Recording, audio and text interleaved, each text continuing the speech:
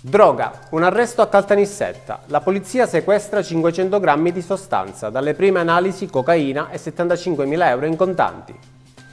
Gela, inaugurata la sede del nucleo operativo ecologico dei carabinieri. Nota di Italia Nostra. Saranno monitorati settori specifici nei quali la criminalità organizzata è particolarmente attiva.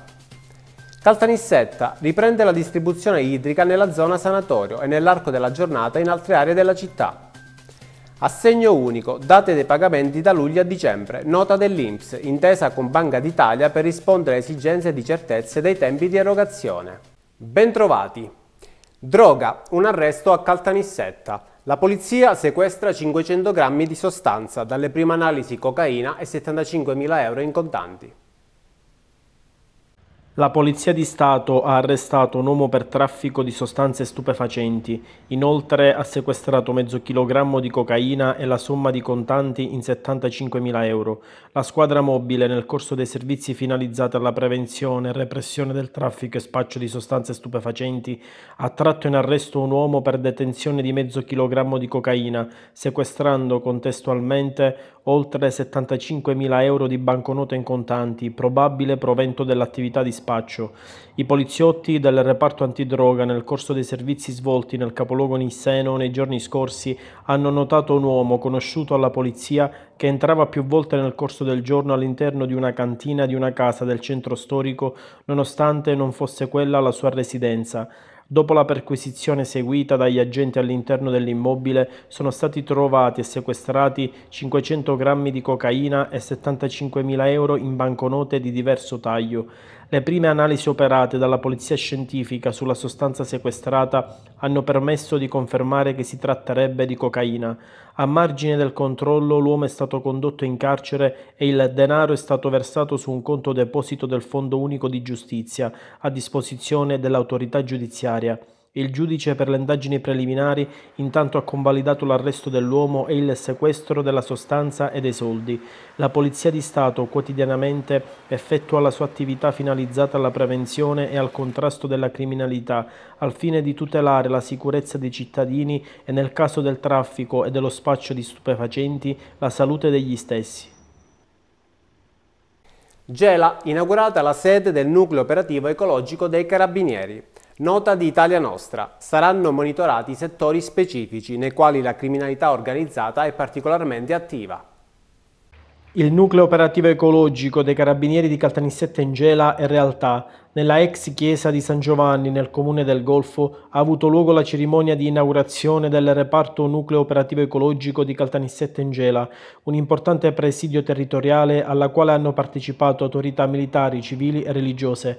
Il nucleo sarà guidato dal tenente colonnello Michele Cannizzaro. Il regalo che l'Arma dei Carabinieri ha voluto fare alla città di Gela e si è voluta fare come nella rappresentanza della tutela ambientale per dare un nuovo presidio di tutela alla, al territorio che è stato fortemente purtroppo interessato negli anni, nei decenni pregressi dal, da varie situazioni che ne hanno pregiudicato in parte l'ambiente. Nel corso della manifestazione è stato proiettato il video realizzato al fine di mostrare le potenzialità e i settori di intervento dei nuclei operativi ecologici che operano nel territorio. Questo è un territorio particolare che ha una valenza riconosciuta e quindi anche un'attenzione particolare dello Stato e anche dell'Arma dei Carabinieri che ha voluto qui creare questo presidio di alta specializzazione perché il comparto eh, del quale noi facciamo parte, che è il Comando Unità Forestali Ambientali e Agroalimentari, ha questa specificità di essere eh, più performante e naturalmente indirizzato a più indagini di natura eh, diciamo, di polizia giudiziaria molto più sofisticate, naturalmente di contrasto ai crimini, alla criminalità anche organizzata. Noi che cosa vogliamo oggi con questa testimonianza? Dare un senso uh, della, del, del, significato, anche della vicinanza verso le, le, popolazioni, verso i cittadini che abitano non solo Gela ma anche tutto il comprensorio che rientra nella giurisdizione di questo nucleo, che sono le province di Caltanissetta, di Enna e di Ragusa e naturalmente avere come riferimento l'Arma dei Carabinieri. Non solo repressione, ma anche prevenzione in materia di tutela ambientale, di salvaguardia del territorio e del paesaggio. Sono queste le finalità che hanno condotto l'Arma dei Carabinieri a individuare la città di Gela come sede del nucleo operativo ecologico. è stata una scelta ponderata perché il reparto eh, di fatto è istituito a Caltanissetta ma noi naturalmente abbiamo spinto perché venisse collocato in questa prestigiosa sede qui a Gela proprio per il contatto di prossimità ambientale che noi ovviamente cerchiamo di trasmettere eh, in tutto il territorio nazionale. Gela è una realtà particolarmente delicata dal punto di vista dell'ordine e della sicurezza pubblica ma ahimè anche dal punto di vista della sicurezza ambientale, sicurezza ambientale che ha ricadute evidentemente sulla salute eh, dell'uomo eh, e quindi di conseguenza è necessario un approccio sistemico al eh, contrasto dei crimini ambientali. La presenza del NOE era attesa da anni in quello che è uno dei territori più colpiti da reati ambientali e urbanistici. In particolare saranno monitorati settori specifici nei quali la criminalità organizzata è particolarmente attiva, tra questi il ciclo dei rifiuti, gli impianti di trattamento e della filiera di gestione dei rifiuti solidi urbani e speciali e il ciclo del cemento. Il nucleo operativo ecologico sarà dunque una presenza fissa e importante nel territorio e agirà in stretta collaborazione con la Procura della Repubblica. Una presenza che ci renda ancora più, più consolidati, più forti, più attivi nel territorio per difendere quello che è questo bene fondamentale che, che è l'ambiente del territorio. Oggi possiamo contare su questo reparto specializzato eh, con cui l'arma eh, territoriale lavora in stretta sinergia naturalmente sotto le leggi della Procura della Repubblica. Caltanissetta riprende la distribuzione idrica nella zona sanatorio e nell'arco della giornata in altre aree della città. È ripresa oggi la distribuzione idrica dell'acquedotto Madonio Est, dopo l'intervento di manutenzione incontrata a Milicia a Santa Caterina Villarmosa, dove la distribuzione era stata sospesa anche a Caltanissetta. La distribuzione è ripresa nella zona sanatorio e nell'arco della giornata riprenderà in tutte le H24 interessate al guasto. Riprenderà a pieno regime la distribuzione ai punti Borgo Petilia ex Irpi e anche il serbatoio San Giuliano dove la fornitura idrica era stata ridotta. Anche a Santa Caterina Villarmosa oggi la distribuzione è ripresa in tutto il comune. Notizia attesa da molti cittadini nisseni che con l'aumento delle temperature hanno visto dimezzato il proprio utilizzo idrico. Assegno unico, dato dei pagamenti da luglio a dicembre. Nota dell'Inps, intesa con Banca d'Italia per rispondere a esigenze di certezza ai tempi di erogazione. L'Istituto IMSS e Banca d'Italia hanno concordato le date dei pagamenti da luglio a dicembre dell'assegno unico e universale per i figli a carico al fine di agevolare le famiglie che lo percepiscono e rispondere alle esigenze di certezza dei tempi di erogazione. Nel dettaglio, in favore dei beneficiari della prestazione già nei mesi precedenti oppure nei casi in cui la rata della prestazione non abbia subito variazioni, i pagamenti saranno effettuati nelle seguenti date 17, 18 e 19 luglio, 18, 21, 22 agosto, 15, 18, 19 settembre, 17, 18, 19 ottobre, 16, 17, 20 novembre, 18, 19, 20 dicembre. Il pagamento della prima rata della prestazione avverrà di norma nell'ultima settimana del mese successivo alla presentazione della domanda. Nella stessa data sarà accreditato anche l'importo delle rate spettanti nell'ipotesi in cui l'assegno sia stato oggetto di un conguaglio, a credito oppure a debito. I beneficiari interessati dal conguaglio saranno comunque avvertiti con mail o sms e potranno verificare il dettaglio del calcolo sul sito IMSS o rivolgendosi all'intermediario di fiducia. L'assegno unico e universale è un sostegno economico alle famiglie, attribuito per ogni figlio a carico fino al compimento dei 21 anni, a condizione che frequenti un corso di formazione scolastica o professionale, ovvero un corso di laurea, svolga un tirocinio, ovvero un'attività lavorativa, e possieda un reddito complessivo inferiore a 8.000 euro annui. Sia registrato come disoccupato e in cerca di un lavoro presso i servizi pubblici per l'impiego. Verrà attribuito senza limiti di età invece per i figli disabili. L'importo spettante varia in base alla condizione economica del nucleo familiare sulla base di ISE valido al momento della domanda, tenuto conto dell'età e del numero dei figli, nonché di eventuali situazioni di disabilità dei figli. Tributi, convenzione tra Comune e di Caltanissette centri di assistenza fiscale. Fra pochi giorni l'avvio della fase operativa. Nota dell'assessore comunale Giuseppe Lamenza.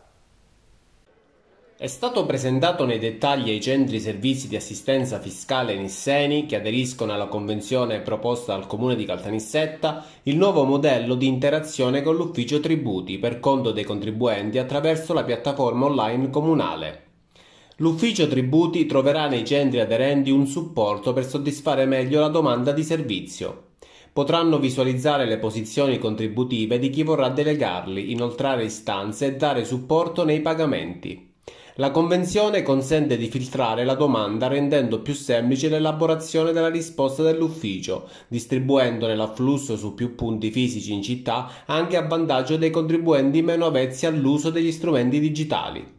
Il servizio sarà operativo dall'ultima decade di luglio presso i centri aderenti. Stiamo attuando una misura piuttosto originale che è quella del convenzionamento dei CAF significa che consentiremo ai CAF di entrare dentro ai CAF autorizzati che riceveranno delega eh, da parte dei contribuenti, i loro clienti, di entrare nel sistema comunale per verificare le posizioni e agire per conto dei clienti direttamente. Questo non significa che potranno accedere in modifica o rettifica dei dati, significa che potranno, diciamo, preistruire, in qualche modo predigerire eh, le istanze eh, del contribuente prima che vengano inviate all'ufficio, in modo tale che tutte queste persone, normalmente persone che non hanno grossa dimestichezza con il digitale, persone anziane o comunque persone che non ce l'hanno, piuttosto che riversarsi ehm, a mh, alimentare delle code presso gli uffici che notoriamente non ha una numerosità di personale sufficiente e certamente a breve non potrà averla,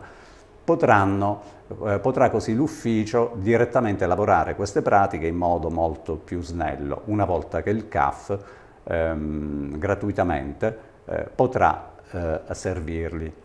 Eh, noi quindi stiamo cercando di filtrare la domanda di servizio eh, attraverso questo modo. Ehm, consideriamo che eh, l'affluenza presso l'ufficio tributi, grazie anche a delle misure precedentemente prese, dopo aver analizzato bene la domanda di servizio, quindi il materialmente cos'è che queste persone andavano a chiedere personalmente, ci siamo resi conto che gran parte della domanda può essere esaudita direttamente da soggetti che non sono gli operatori comunali che invece potranno dedicarsi, devono dedicarsi alle pratiche più complesse.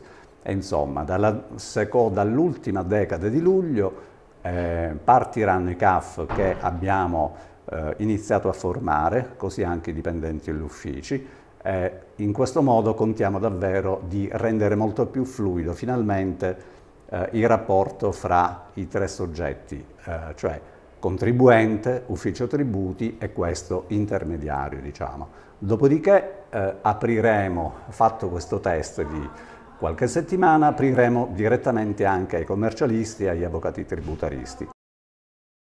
Cimitero Angeli, chiusa la domenica fino al 27 agosto e polemica sui social, risponde l'assessore comunale Cettina Andaloro. Nei mesi di luglio e agosto il cimitero Angeli rimarrà chiuso come da ordinanza sindacale. In questi giorni sui social network i cittadini nisseni si sono lamentati per questa chiusura che vige già da diversi anni. Ne abbiamo parlato con l'assessore con delega ai servizi cimiteriali Cettina Andaloro. La chiusura delle sole domeniche di luglio e agosto nasce da due fattori obiettivi e oggettivi. Intanto l'ordinanza è stata fatta quattro anni fa e si ripete ogni anno e poi nasce dall'esigenza di, di far usufruire ai custodi almeno una domenica uh, in questo periodo estivo, visto che continuano a lavorare. E poi oggettivamente mi sento di dire che è nato alle statistiche delle presenze vanno, delle persone che vanno al cimitero. Le domeniche non ci va quasi nessuno ed è anche giusto perché con queste alte temperature è meglio che o ci vanno la mattina presto le persone oppure meglio che non ci vanno. E obiettivamente e statisticamente abbiamo constatato, perché non abbiamo chiuso così uh, perché ci piaceva chiudere, abbiamo chiuso vedendo e studiando tutte le presenze delle, delle domeniche degli anni passati e si è deciso di chiudere. voglio dire, sono solo due mesi, quindi otto domeniche, già due se ne sono andate, quindi io dico che bisogna essere eh, anche obiettivi nei riguardi dei custodi, delle persone che continuano a lavorare e delle persone che veramente è giusto che la domenica non vadano al cimitero per le alte temperature che ci sono. Poi voglio dire, ci, ci ho, sentito, ho visto dei commenti che ehm, le persone sono in ferie, ma io non penso che le persone arrivino la domenica per andare al cimitero. Scusate ma la penso così, saranno, saranno venute o il giorno prima o la settimana prima. Da lunedì a sabato il cimitero è aperto, quindi è una polemica secondo me eh, che lascia il tempo che trova, devo dire la verità. Riflessioni sul decreto Calderone, convegno a Caltanissetta, interventi di Luca De Compadri e Simone Gagliano. Nei locali della Fondazione Sicana si è tenuto un convegno per discutere del decreto ministeriale introdotto dal Ministro del Lavoro e delle Politiche Sociali Marina Calderone. Il decreto mira a introdurre nuove misure in materia di lavoro e ammortizzatori sociali. Il provvedimento prevede una serie di modifiche normative, alcune di carattere strutturale, altre destinate a produrre degli effetti nel 2023 in attesa di trovare le coperture finanziarie che possono garantire il proseguimento del beneficio anche successivamente. Il provvedimento si può sintetizzare nei seguenti punti principali taglio del cuneo fiscale, abrogazione del reddito di cittadinanza e snellimento delle informative ai lavoratori. Noi consulenti del lavoro eh, siamo eh, fortemente interessati a questo decreto Calderone e lo chiamiamo Calderone, non decreto 48, perché è fatto da una nostra ex collega, la quale ha saputo cogliere eh, gli aspetti più pragmatici della normativa che interessano eh, noi, il mondo del lavoro, i lavoratori, le aziende, e quindi oggi ci accingiamo a questo approfondimento eh, per verificare anche le criticità che ci possono essere, affrontarle e cercare di trovare dei, delle soluzioni ottimali. Eh, affronteremo le problematiche inerenti al decreto Calderone e le problematiche conseguenti alla legge di conversione ha, eh, del decreto stesso che è entrata in Gazzetta Ufficiale proprio pochi giorni fa. È il primo passo per una grande riforma del lavoro che pone al centro del processo di rinnovamento la eh, possibilità di reintrodurre i giovani nel mondo del lavoro e di dare un impulso propulsivo alla crescita del Paese e in questo crediamo molto un momento di incontro per fare delle riflessioni su, su quello che è il decreto 48, il decreto lavoro, che eh, prevede delle misure particolarmente rivolte alle famiglie per aiutarle anche in questo momento difficoltoso. Eh, tra le varie tematiche verranno toccate eh, quella riferita alla, alle modifiche riferite alla disciplina sul tempo determinato, eh, poi altre misure, mh, ad esempio incentivi alle assunzioni, eh, misure di welfare, quindi come abbiamo detto misure sia rivolte ai lavoratori nonché ovviamente alle aziende con un filo conduttore che è quello ehm, riferito alle politiche attive del lavoro, cioè quindi quell'insieme di misure che dovrebbero, dovranno anzi aiutare i lavoratori a ricollocarsi nel mondo del lavoro il più in fretta possibile. La difficile arte del prendersi cura, incontro a Casa Rosetta sull'impegno degli assistenti familiari. Nei locali dell'associazione Casa Famiglia Rosetta si è tenuto un incontro dal titolo Progetto Caregiving, la difficile arte del prendersi cura. Il caregiver familiare è colui che si prende cura, che assiste e supporta il proprio caro, generalmente anziano, nei momenti di malattia e di difficoltà. Questa figura si destreggia ogni giorno tra i vari impegni cercando di occuparsi non solo dell'organizzazione del proprio caro malato, ma di mantenere l'equilibrio di tutta la famiglia.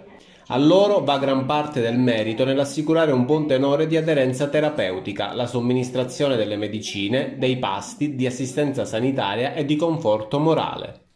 Sono tanti i caregiver che sono presenti sia a Caltanissetta che nella nostra provincia Eh, già facendo riferimento a quelli che sono i pazienti che sono in cura presso le nostre strutture eh, arriviamo a un numero che può essere di 400 e più pazienti e chiaramente la maggior parte di essi hanno la necessità di eh, avere un caregiver o so, hanno un caregiver che si occupa, che si occupa di loro. Eh, la mh, mm, giornata di oggi ha l'obiettivo di eh, dare voce voce a questa, a questa figura. Eh, il caregiver è il caregiver familiare, anche il caregiver professionale.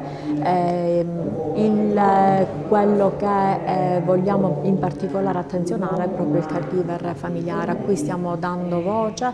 Eh, il, la giornata è organizzata in tre, in tre momenti, sono tre panel differenti e ognuno di loro si conclude con la testimonianza eh, di un, di un caregiver. Il caregiver è il genitore, il caregiver è la moglie, il caregiver è il marito, il caregiver sono i figli, sono i fratelli. Ogni figura ha delle peculiarità differenti, eh, perché differenti ovviamente sono l'età, perché differenti sono le esigenze, perché differenti sono i ruoli nella, nella, nella relazione e poi ci stiamo occupando anche di eh, noi operatori che nella nostra relazione siamo, relazione di, siamo nella relazione di cura. Eh, e dunque come eh, al meglio poter eh, offrire il, il nostro, la nostra opera, la nostra, la nostra, attenzione nella relazione con il paziente. Eh, già essa stessa, la relazione è una, è un, fa parte del processo di cura, va inteso nel, nel processo di cura.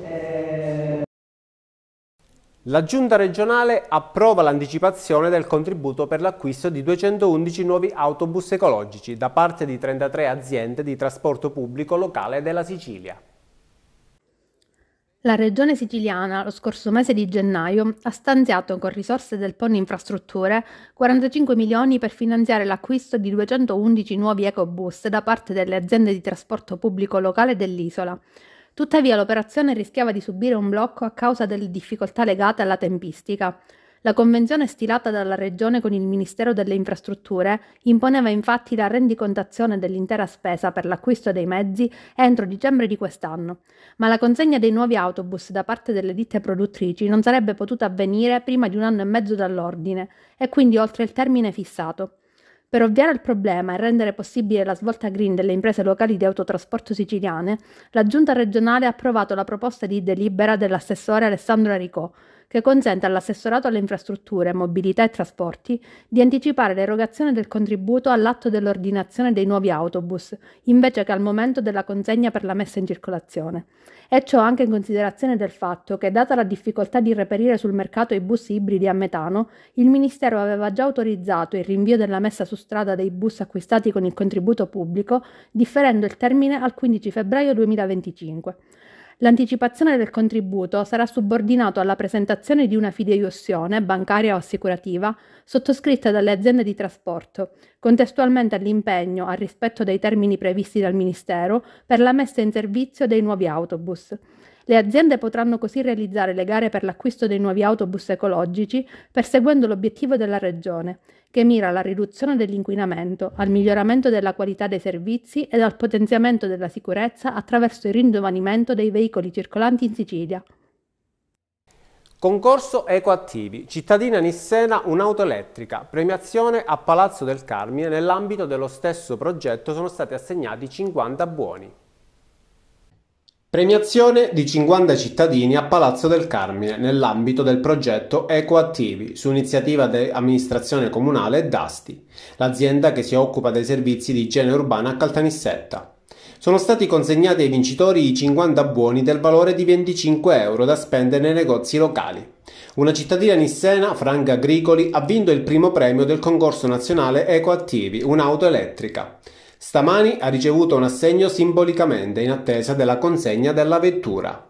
Questa è un'iniziativa che già portiamo avanti da, da diversi anni, un'iniziativa a livello nazionale, eh, fra cui Caltanissetta devo dire che è entrata e ha dato ottimi risultati fin dall'inizio. Infatti già questo eh, è la seconda volta in cui i maggiori premi vengono vinti a Caltanissetta.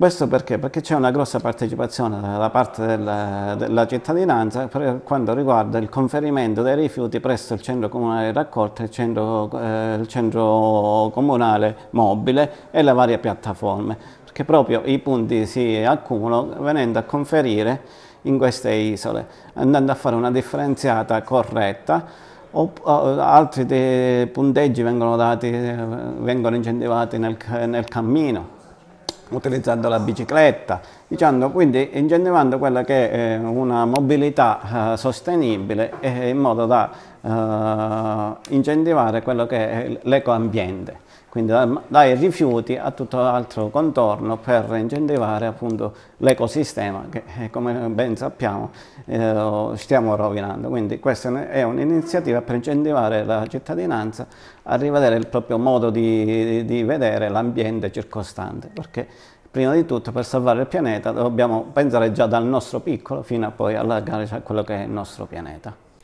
Da Poste anche nel Disseno un webinar gratuito dedicato alla comunicazione sui social network, evento online rivolto a tutti i cittadini. Si terrà domani, 12 luglio, in diretta a partire dalle ore 17, il webinar gratuito organizzato da Poste Italiane di Educazione Digitale dal titolo Le parole chiave della comunicazione sui social network, dedicato a favorire la consapevolezza e le conoscenze di tutti i cittadini su tematiche di grande attualità. Il relatore Fabio Aita, responsabile della struttura social media in poste italiane, illustrerà opportunità e caratteristiche delle diverse piattaforme, le strutture dei piani editoriali e gli strumenti utili a massimizzare visibilità e interazioni. Il progetto di educazione digitale della Corporate University si propone di fornire agli utenti una panoramica tra le innovazioni tecnologiche e digitali, attraverso webinar gratuiti e contenuti multimediali sempre disponibili all'interno della sezione web di Poste Italiane come podcast, giochi, infografiche e videopillole. La rete mette a disposizione numerosi tool per creare contenuti digitali e basta un semplice smartphone per creare video, grafiche e pubblicare post sulle diverse piattaforme social. Ma per trarne il massimo vantaggio è essenziale comprenderne le logiche di ciascun canale, gli algoritmi che guidano la distribuzione dei contenuti e le strategie per strutturare un piano editoriale massimizzando le strategie di marketing digitale. Le attività possono essere eseguite sui canali social LinkedIn, Facebook e Twitter di Poste Italiane attraverso l'hashtag Educazione Digitale e nella sezione di storie di Instagram. L'iniziativa si inserisce nel più ampio programma di Poste Italiane quale guida per i cittadini nello sviluppo di conoscenze e sempre maggiori competenze tra tecnologia e digitalizzazione, in coerenza con la sua storica vocazione di azienda socialmente responsabile. Gara di torte a Resuttano, premi per tre categorie, migliore, originale e sfiziosa. Nel fine settimana a Resuttano si è tenuta la prima gara della torta, dove i cittadini resuttanesi si sono sfidati per aggiudicarsi il titolo di miglior torta, torta originale e torta sfiziosa. La gara è stata organizzata dalla Proloco di Resuttano con il patrocinio del comune. L'evento è coinciso con la giornata nazionale delle Proloco. Per loro missione le Proloco si impegnano al 100% per valorizzare e animare il proprio territorio, promuovere i prodotti tipici, tutelare e salvaguardare le tradizioni, un'azione quotidiana contrassegnata da un viscerale amore per la propria terra. Festeggeremo la giornata nazionale delle Proloco il 9 luglio facendo una gara di torte con la dovuta giuria, presieduto da Lillo Di Fraia, Ottavio Miraglia e un altro signore che non è potuto essere presente per motivi familiari. Sarà premiata la torta migliore, la più originale e la più, la più sfiziosa, diciamo.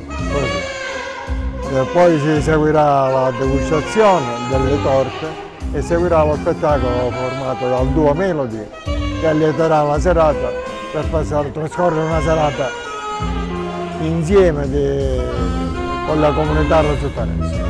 9 luglio, festa nazionale delle Proloco, più di mille Proloco in Italia hanno aderito a queste manifestazioni, in Sicilia siamo più di 100 che aderiamo. Nella nostra provincia siamo in 12 proloco con varie attività, ad esempio Valle Lunga camminare è verbo barra e congiunzione vivere, e il palio delle torte a Buonpensiere, aperture del museo a Mazzarino, eh, aperture delle proloco, facciamo conoscere delle mostre fotografiche in altre località, risultano questa bella realtà qui questa sera con il palio delle torte, bellissimo, premiati e visionati e diciamo pure sanzionati con un bellissimo giudizio dai grandi maestri della pasticceria nissena, famosissima nel mondo. Parliamo di Rollò, parliamo di Cannone, mi ricordo a settembre il record mondiale del cannolo più lungo, stupenda, una bellissima serata, tan, tan, un applauso sicuramente meritano i volontari delle Proloco perché noi Proloco siamo volontari, quindi senza scopo di lucro, associazioni non profit, eh, coordinati dall'Umpli, l'Umpli nazionale, presidente dell'Umbria Nazionale è un nostro corregionale, Nino Laspina, che si trova in Friuli Venezia Giulia oggi per una grande manifestazione sempre a tema delle, della giornata nazionale delle Proloco. Nissa ha presentato lo staff tecnico del settore giovanile, incarico di responsabile ricoperto da Alessio Sferrazza, ex allenatore della prima squadra biancoscudata. La Nissa, oltre a rinforzare la squadra per la prossima stagione, getta le basi anche per il futuro. Nella sala conferenze dello stadio Marco Tomaselli si è svolta la conferenza stampa di presentazione dell'attività del settore giovanile della stagione 2023-2024. A fare gli onori di casa e a presentare il nuovo progetto giovanile biancoscudato l'ex tecnico della prima squadra Alessio Sferrazza, il tecnico della squadra juniores Giacomo Serafini, il tecnico della squadra allievi Enrico Massaro e la new entry Salvatore Chimenti che nella scorsa stagione ha difeso la porta biancoscudata. L'obiettivo della Nissa, oltre nel disputare i vari campionati giovanili, sarà quello di coltivare in casa dei futuri calciatori, da inserire nella prima squadra, dando seguito alla valorizzazione e alla continua crescita del settore giovanile. Una società senza vivaio è un albero senza radici, una realtà senza futuro e la Nissa vuole fortemente dare un futuro ai giovani calciatori e più in generale a tutti i ragazzi del territorio. La Nissa cercherà di diventare una cantera di ottimo livello e la società non ha alcuna intenzione di fermarsi e lavorerà sodo per migliorare ogni aspetto. Alla base di tutto ci sono passione, amore per i propri colori e il desiderio di costruire qualcosa di importante per i ragazzi nisseni. L'attenzione è rivolta ovviamente all'aspetto tecnico, ma non solo, perché si vuole contribuire alla crescita dei ragazzi anche al di fuori del terreno di gioco. Alla base ci sarà un grande lavoro di squadra, di sinergia tra le parti e quello che muove tutti i diretti interessati è la passione. La società biancoscudata ha intrapreso un percorso ben preciso, con obiettivi ambiziosi ma assolutamente realizzabili.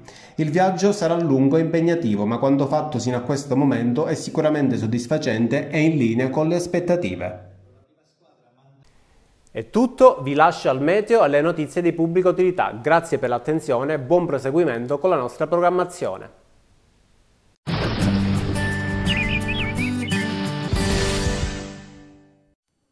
Amici Trevi Meteo, bentornati a questo aggiornamento delle nostre previsioni per la giornata di mercoledì che ancora una volta sarà bollente in tutta Italia, alta pressione sul Mediterraneo e sul nostro paese, solo qualche temporale sulle zone alpine e prealpine, ma sarà l'unica area d'Italia che vedrà arrivare aria leggermente più fresca. Per il resto temperature davvero elevate. Controlliamo la nuvolosità attesa sull'Italia, poco o nulla, nel pomeriggio si forma qualche nuvola sulle zone montuose del nord e in effetti nelle ore pomeridiane, sempre appunto su Alpi e Prealpi, qualche qualche breve acquazzone si formerà, ma sono temporali di calore sostanzialmente, quindi temporali che non cambiano la condizione meteorologica generale. Quindi in definitiva, giornata bollente in tutta Italia, come vi dicevo, temperature oltre 35 gradi all'ombra in pianura padana e nelle zone interne del centro-sud, caldo umido anche nelle ore serali e notturne e per il resto, come vi dicevo, solo qualche temporale in montagna al nord. Per sapere comunque nel dettaglio che temperature si registreranno da voi, consultate gratuita gratuita di Trebi Meteo. Servizi di pubblica utilità.